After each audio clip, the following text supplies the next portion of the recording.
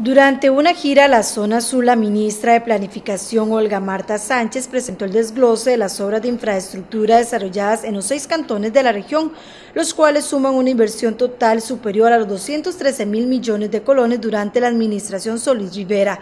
Estas obras se ubican principalmente en los sectores de educativo, 55 proyectos, infraestructura y transporte, 43 proyectos, salud, 41 proyectos.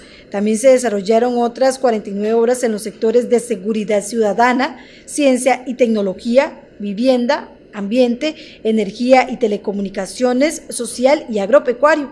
Asimismo, se presentó un informe del programa Puente al Desarrollo, el cual beneficia a 9.589 familias de 15 distritos, con una inversión de 16 mil millones de colones. La ministra destacó el sistema de gobernanza que se implementó en este gobierno, que potenció el trabajo del Coredes en la región Brunca.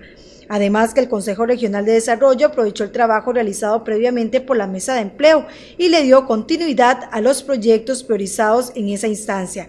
También destacó la constitución de los comités intersectoriales regionales, mediante los cuales se abordaron institucionalmente los proyectos priorizados en la región, así como el contar con consejos cantonales de coordinación institucional en cuatro de los seis cantones de la región.